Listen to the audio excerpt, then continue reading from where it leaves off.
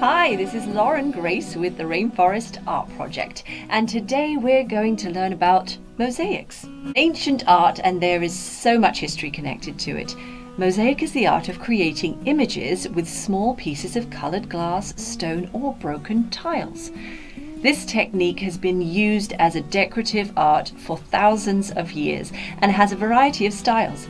For example, European mosaics displayed figures such as people and animals, and the mosaics of the Middle East were usually made up of geometric shapes and floral patterns.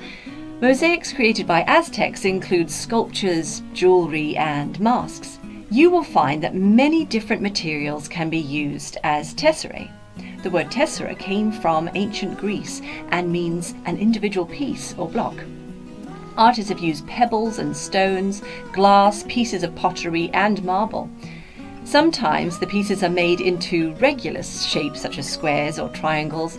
When the shapes are irregular and unique, the artist must find the pieces that fit together, just like a puzzle. In the past, mosaics in Europe and in the Middle East were usually made to decorate walls and ceilings and floors of buildings that were important to the artist's culture. Mosaics depicted things that people of the time believed in and cared about. The very first known example of mosaics were found at a temple building in Abra, Mesopotamia. They date back over 5,000 years and were created from coloured stones, shells, and ivory.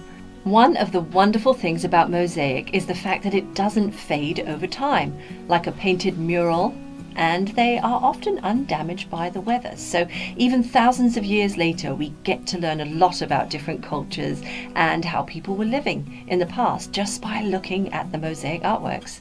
Lots of stunning mosaics were discovered by a team of German archaeologists in the 19th century in Pompeii, Italy. These mosaics dated back to the 2nd century BC, and the whole town of Pompeii was buried in ash during the eruption of Mount Vesuvius in 79 AD. One of the greatest pavement mosaics featured nearly 2 million tesserae. What an amazing discovery!